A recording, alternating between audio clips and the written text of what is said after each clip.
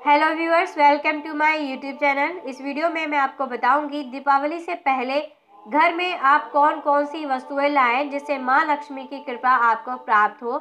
तंत्र शास्त्र द्वारा ऐसी वस्तुओं का ज़िक्र किया गया है, जिन्हें यदि दीपावली आने से पहले घर में लाया जाए तो ये वस्तुएँ धन आमंत्रित करती हैं। ये वस्तुएँ पूर्ण रूप से शास्त्रीय महत्व को दर्शाती हैं। इसके साथ ही ये केवल माँ लक्ष्मी का आशीर्वाद पाने का ही साधन है। तो चलिए जान लेते हैं कौन कौन सी हैं वो वस्तुएँ जिन्हें आप घर में लाकर माँ लक्ष्मी की कृपा प्राप्त कर सकते हैं। हत्था जोड़ी, दीपावली आने से पहले किसी भी मंगलवार या शनिवार के दिन घर में हत्था जोड़ी लाए।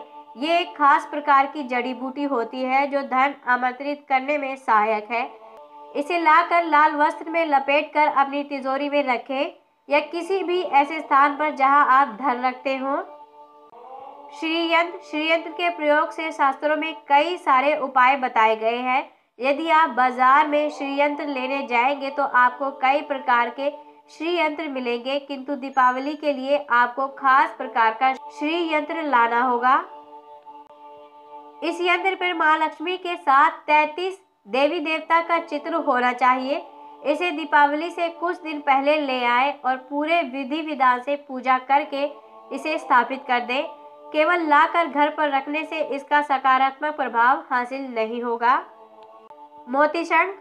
शंख कई प्रकार के होते हैं एवं प्रत्येक शंख से एक खास प्रकार का लाभ हासिल होता है। मोती शंख धन एवं समृद्धि का प्रतीक माना जाता है। इसे दीपावली से पहले ही घर पर ले आए। पूजन के बाद इसे स्थापित करें। लक्ष्मी कौड़ी। यदि माँ लक्ष्मी की कृपा पाना चाहते हैं तो ये लक्ष्मी कौड़ी के बिना संभव नहीं है। पौराणिक कथाओं में भी लक्ष्मी कौड़ियों का ज़िक्र मिलता है।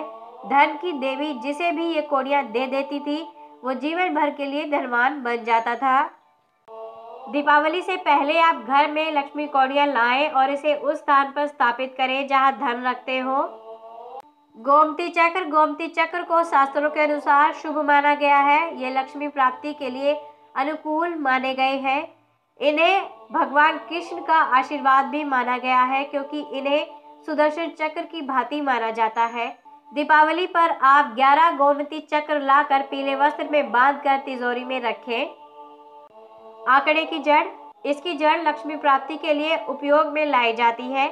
इसे दीपावली से पहले किसी भी शुक्रवार को घर में लाकर अपनी धन तिजोरी में स्थापित करें।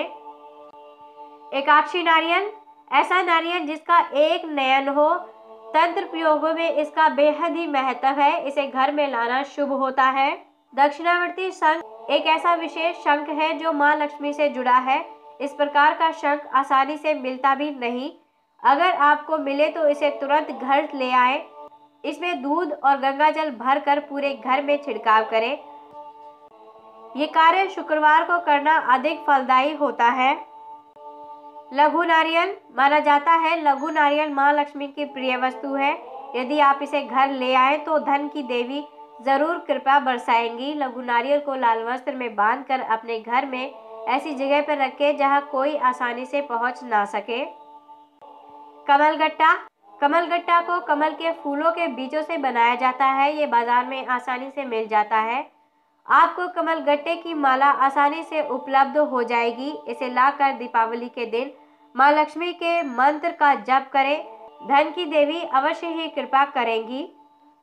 तो दोस्तों, आज मैंने आपको बताया है, धन की देवी लक्ष्मी की कृपा प्राप्त करने के लिए आप घर में किन किन वस्तुओं को लाएँ। अगर आपको मेरे द्वारा दी गई ये जानकारी अच्छी लगी है तो इस वीडियो को लाइक कीजिए। अपने दोस्तों के साथ, अपने प्रियजनों के साथ इस वीडियो को शेयर कीजिए।